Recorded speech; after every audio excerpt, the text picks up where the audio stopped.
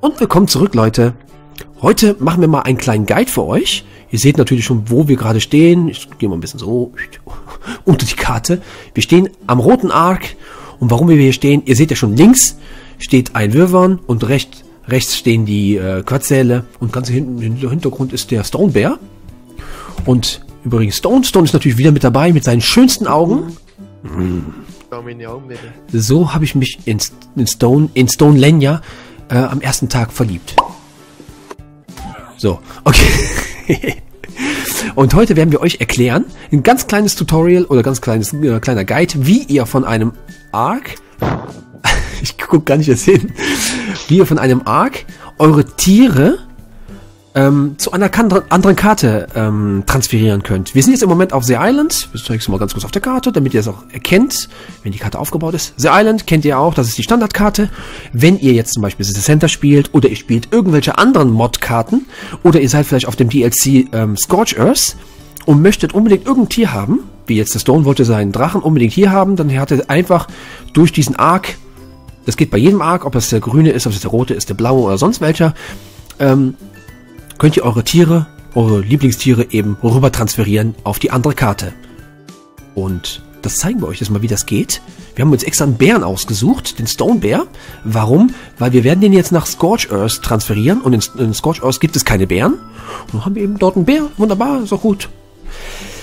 Ähm, erklär mal ganz kurz, äh, Stone, du, du hast jetzt diesen Stone Bear jetzt ähm, gezähmt und er hat, glaube ich, besondere Bonuspunkte, glaube ich, ne? Die den habe ich nicht gezähmt, den habe ich gezüchtet. Gezüchtet, gezüchtet, ja, okay.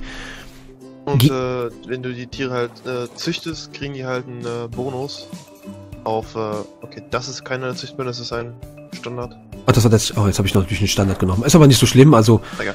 Jedenfalls, äh, das heißt, äh, wenn züchtet kriegt der Charakter, der ihn gezüchtet hat, also in diesem Fall, der wäre ich, Bonus drauf. Auf Mini-Damage und alles. Und das geht dann verloren, wenn du transferierst. Ah. Weil das, da müsstest du deinen Charakter, den du hier hast, auch übertransferieren. Weil nur okay. der Charakter, der ihn wirklich gemacht hat, kriegt diesen Bonus. Also, auch wenn der andere Charakter genau die gleiche ID von Steam hat, ist das ein anderer Spieler für okay. Arc. Da geht der Bonus verloren. Das hatte ich hier bei meinem Wyvern auch. Hier ist der Bonus drauf. War Aber drauf? Ja, habe ich in Gorgeous gemacht. Und hier auf der Island habe ich den Bonus jetzt nicht weil du natürlich ein anderer Charakter bist. Der Stone hat natürlich genau. Lenya hier in The Island und Lenya in, ähm, in Scorch Earth und eben diese Lenya in Scorch Earth hat diesen Bonus und nicht die Lenya hier in äh, The Island. Also müsstet ihr immer darauf achten, bitte, ähm, wenn ihr jetzt ein super Tier habt, was mit tollen Bonuspunkten ist, weil ihr dann selber gezüchtet habt, aufpassen bitte. Die Punkte werden verloren gehen. Aber ansonsten wird das Spiel, äh, das Spiel, der, das Tier ähm, problemlos rüber transferiert. Okay, wir machen das jetzt mal. Ähm, um ein Tier rüber trans äh, zu transferieren, müsst ihr immer in diesen Kreis hier von diesem Arc rein. Jetzt zum Beispiel, wir haben jetzt die Kötze da draußen geparkt. Das hat einfach eigentlich keinen Sinn gehabt, einfach nur, weil wir den da draußen geparkt haben. Aber die sind natürlich außerhalb dieses Kreises.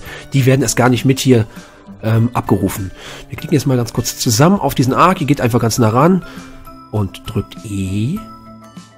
Oder eben E. Die Taste auf der, auf der Konsole. Und ich habe damals immer irgendwie gesucht, wie das funktioniert mit diesem blöden Hochladen und habe natürlich immer auf diesen drei drei Dingens hier gesehen. Und da kann man ja eben nur die Bossmonster ähm, rufen. Aber man muss einfach hier ganz oben steht Transmit Arc Data. Und da klickt ihr mal drauf. Und ähm, wir machen das mal ganz kurz erstmal. Ich glaube erstmal mit dem Sattel, oder? Ich glaube, mit dem Sattel machen wir als erstes. Weil ja. ähm, wichtig ist, das wird euch das, äh, das, Spiel oder dieser Arc auch gleich sagen. Ihr habt es, wenn ihr auf Deutsch habt, steht es auf Deutsch. Wir haben es auf Englisch. Ähm, das Spiel wird euch sagen, wenn ihr ein Tier rüber transferiert, Achtung, alle Items, die im Bauch, also im Inventar, ich sag mal Bauch, im Inventar äh, sind oder am Körper, das heißt jetzt so gesehen der Sattel oder hier, wenn das jetzt der Quinn wäre, die ganzen Items, die ganzen Strukturen werden verloren gehen. Also gesehen, der Sattel fällt einfach ab, das hatten wir eben mal ganz kurz getestet, der fällt einfach ab, dann liegt dann hier so eine Tasche. Äh, bei den Strukturen weiß ich das nicht. Ich glaube, die fallen die komplett aus, die, ja, die fallen auseinander und sind verloren. Also bitte aufpassen. Ähm, Tiere ohne Items im Inventar oder eben Gegenständen am Körper ähm, alle abmachen vorher, bevor man es drüber transferiert. So, jetzt zeigen wir euch das nochmal ganz kurz. Wir gehen hier ganz nah ran, drücken E, wenn das auch mal anzeigt. So, gehen nochmal auf Transmit Arc Data Und dann ziehen wir einfach erstmal ganz kurz den Sattel, den wir natürlich rüberschieben möchten, hier rein. Und dann haben wir das schon geschafft, glaube ich, ne? Ja, das war's. Bei den Items ist das überall ja, einfach rausholen. Genau, also bei den Arc, äh, bei dem äh, Arc mit den Items ganz einfach. Ihr zieht die einfach rüber. Hier, ich kann jetzt noch das Schwert dazu ziehen. Jetzt ist das Schwert auch noch dabei. Und ich kann das jetzt überall, wo ich auf irgendeiner Karte bin, The Center, äh, wie heißen die ganzen Karten, die ganzen Mod-Karten, die es so gibt, könnt ihr einfach auf den Arc zugreifen und dann seht ihr dort diesen Sattel. Wenn ihr natürlich darauf zugreift. So, der Sattel ist natürlich jetzt schon mal rüber transferiert. Und ähm, um äh, das mit T zu machen, musst du das Item mal auswählen. Vorher, wenn du was so transferieren wolltest, zum Bären zum Beispiel drüber, ging das ja einfach mit T. Und hier musst du das Item wirklich auswählen und dann T drücken zum rüber transferieren. Sonst äh, macht das nicht. du meinst jetzt, ähm, Servertransfer. Du musst das Item ganz auswählen. Das heißt, wenn du ein Tier oder irgendwo anders hin transferieren willst, kannst du die Maus einfach drüber fahren lassen. mhm, okay. Hier muss das Item regelrecht auswählen. Äh, Tastendruck, dass es dass es verbrandet ist und dann kannst du erst mit T, wenn die Maus drüber ist, rüber transferieren. Das heißt, Okay. Maus drauf, muss drauf sein und es mu- muss aktiviert sein. Sonst macht das nicht. Und beim Zurückholen genauso. Alles klar. Und ähm, bei dem, beim Tier, wie gesagt, die Tiere müssen in diesem Kreis hier sein von dem Arc, ob das wieder rot oder grüne ist, oder eben hier, wir sind jetzt sogar beim roten, genau.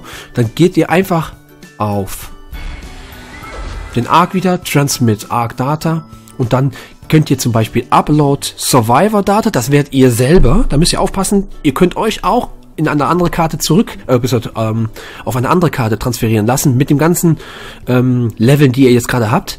Äh, müsst ihr aber eben wirklich aufpassen, dass ihr es nicht macht. Nur natürlich, wenn ihr es nicht, wenn ihr es machen möchtet, macht das gerne, aber ähm, Aber dann müsst ihr nackig sein wiederum. da müsst ihr nackig sein, sonst fällt einfach alles ab, was ihr habt, oder es geht auch verloren. Wir wollen aber jetzt hier eben ein Tier und deswegen machen wir einfach Upload Creature, Data und da klicken wir jetzt drauf und dann seht ihr zwei Namen. Einmal der Stone Bear, der steht hier ganz nah bei uns und der, wie heißt der? Jakiro? Jakiro. Jakiro, das ist der, der ähm, Lightning Würfern. Den haben wir jetzt einfach hier reingestellt, damit ihr eben sehen könnt, das sind die Tiere, die jetzt gerade hier drin sind. Jetzt klicken wir auf den Bären. Ihr seht die ganzen Stats, die er hat. Und dann klickt ihr einfach ganz unten links auf Upload Dino. So, jetzt steht natürlich dran, Achtung, bla bla bla, äh, alle Daten, äh, alle Sachen, die, ähm, die im Inventar sind oder auf dem Körper des Tieres sind, werden alle verloren gehen. Deswegen immer aufpassen, dann Accept. So, und das Tier ist weg. Futsch! Der Bär ist weg. Oh nein, oh nein. Er ist jetzt verschwunden. Er wurde hier in diesen Strahl nach oben gezogen.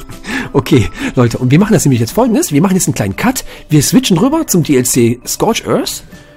Ob es jetzt Scorch Earth ist oder eine andere Karte, das ist nicht so schlimm. Von mir ist aus The Center, ist ja auch eine offizielle Karte geworden. Ähm, wir switchen jetzt rüber zum DLC und dann laden wir einfach den Bären mal für euch hoch. Und dann seht ihr einfach, wie das geht. Okay, bis gleich und tschüss. Gleich. So, meine Lieben, wir sind wieder zurück und ihr seht, wir sind in Scorch Earth. Ihr seht hier rechts, das ist der, das ist ein Feuer, Feuerwürwern, glaube ich, ne, von dir. Jo. Der Feuerwürfern vom Stone und hinter mir ist äh, meine schöne Motte mit dem geilsten Namen. Und ähm, jetzt zeigen wir euch mal ganz kurz, wie wir einfach den Bären rüber transferieren können. Einfach hier ganz oben wieder Transmit Data. Da haben wir den Sattel. Rüberziehen und ihr habt den, Dat äh, den Sattel. Und dann machen wir jetzt einfach Download Creature Data. Und da ist der Stone Bear. Genau. Und da haben wir ihn ja. Und jetzt machen wir einfach Download Dino. Hier sind die ganzen Stats, die er hat. Damit ihr auch gucken könnt, wenn ihr jetzt vielleicht ein Tier habt, der zweimal Stone Bear heißt oder so. Dann äh, guckt einfach, welches Level, ob das der richtige ist. Und dann drückt ihr einfach Download Dino. Und dann kommt er vom Himmel gefallen. Und kackt mir natürlich direkt auf den Kopf. so. Und der folgt natürlich direkt demjenigen, der, ähm, der den auch geladen hat, damit er eben nicht, nicht, dass ihr das vergesst oder sowas. Oh, wie süß. Er freut sich. Ist ziemlich warm hier, ne? Ich weiß. Ähm, so, du hast mich gerade eben noch mal was an irgendwas dran erinnert, was ich noch dazu sagen. guck mal drauf und dann siehst du, dass er ready to mate ist. Ah ja, genau, das war's. Also, was wichtig ist, dass, äh, ah ne, man kann das so sehen. Wenn ihr ein Tier, so jetzt habe ich es, jetzt sehe ich's. wenn ihr ein Tier ladet durch den Arc, ist ähm, die, die Paarung dieses Tieres blockiert für wie lange? Je nachdem von Tier unterschiedlich. Ist von Tier zu Tier. Das ist, glaube ich, gerade äh, ein, äh, äh, Ein Tag und 17 Stunden. ein Tag 17 Stunden, ein Tag, ich glaube, es waren ein Tag 18 Stunden. Wir hatten das, glaube ich, eben, eben hin und her mal transferiert. Es kann sein, dass das deswegen ist ein bisschen Nö, blockiert. nö, Vorhin bei anderen war es nur ein Tag. Okay. Also gesehen, ähm, achtet immer drauf, ihr könnt die Tiere nicht transferieren und dann sagen, jetzt gehen wir mal hier drei, vier Bär, Bären äh, transferieren, transferieren wir jetzt gerade mal rüber in die andere Map und machen da mal ganz kurz ähm, großes großes Rudelbumsen oder so. Das geht nicht. Da müsst ihr eben warten, da ähm, durch diesen Trans durch diesen Transfer eben ähm, der arme Bär steril ist für eine kurze Zeit oder für ein paar Tage eben. Okay, Leute, das war's eigentlich schon. Ne? Ähm, wir werden jetzt mit dem super schönen Drachen, ist es ja, hast du echt eine tolle Farbe ausgesucht, ähm, super schönen Drachen den Bären schnappen und ich werde natürlich mit mit meiner schönen pfeifen den Bären Ach ja, den okay. Sattel raussetzen. Ja, den Sattel werde ich nachher mal aufsetzen. Das machen wir gleich. Wenn wir dann zu Hause sind. Zu den Servereinstellungen, du musst das nichts einstellen. Ah. Standard. Richtig. Ähm, wichtig ist, wenn es ein offizieller Server ist, ihr könnt nur Tiere transferieren von offiziell. Ach, du hast mich gepackt. Mit der Motte? Nee, du hast mich einfach so runtergerissen. Ähm, ihr könnt nur Tiere transferieren von einem offiziellen Server zum offiziellen Server oder von unoffiziellen Servern zu unoffiziellen Servern. Wichtig ist auch, bevor dann schon die ersten Kommentare kommen, das geht nicht. Es geht, es geht aber nur dann, wenn das der Server auch zulässt. In der Standardeinstellung ist das immer erlaubt. Wenn aber ein Server das nicht möchte, dass man Tiere irgendwo hochlädt, nicht, dass da jetzt irgend schon jemand kommt mit Level 1 und, und tut seinen, seinen Bären 100 oder 200, äh, Level 200 hochladen. Das gibt viele äh, Server, die blockieren das automatisch. Wenn es nicht geht, dann fragt irgendwie ein Admin, ob das dort möglich ist. Und äh, wenn es nicht möglich ist, dann müsst ihr irgendwie den Server wechseln. Also immer darauf achten. Wenn ihr privat spielt, braucht ihr nur ein Spiel starten. Das ist auf der Standardeinstellung. Also da ist es alles stinknormal und da könnt ihr es immer machen. So, ich mache Ich nämlich... könnte auch von Singleplayer in Multiplayer transferieren, das heißt, die Leute, die meinen, hat einen Singleplayer, Scorcher Server, hat keinen äh, offiziellen gefunden, den er spielen möchte. Und dann transferiert er seine Sachen zum Beispiel auf den Server von The Island, wo er spielt. Genau. Ist auch möglich. Alles klar. Das war's. Ähm, willst du noch zu mir fliegen oder bist du schon da? Bin schon da. Ich bin ja auch gleich da. Mit, mit, ähm, mit der Motte. Okay, Leute, ich mache mal hier schon eine Ab Abmoderation. Man sieht den Arc im Hintergrund und ähm, so geht das mit den Tieren eben, wie man die Tiere dann von einer Map zur nächsten Map transferiert. Total easy, habt ihr gesehen. Braucht, braucht nichts, keine Programme oder sonst was. Also Arc macht das total einfach für euch. So, das war's. Und äh, wenn es euch gefallen hat, Däumchen hoch. Und es gibt natürlich ganz viele andere Guides. Die werde ich noch. In der Endcard gibt's noch zwei Guides dazu. Und ja, ich fliege jetzt mal runter zu unserer Base und werde mir mal was Leckeres zum Essen suchen. Bis dann und tschüss. Düsen, Düsen. Mit G. Die äh, können nicht nur im Wasser schwimmen, sondern auch auf Land ein bisschen kriechen und die springen euch dann an und saugen euch das Blut ab. So, jetzt zeige ich das gerade mal an mir. Und das Lustige noch das schön ist, äh, einige von denen sind, äh, ja, die haben eben eine Krankheit und die übertragen dann, ouch,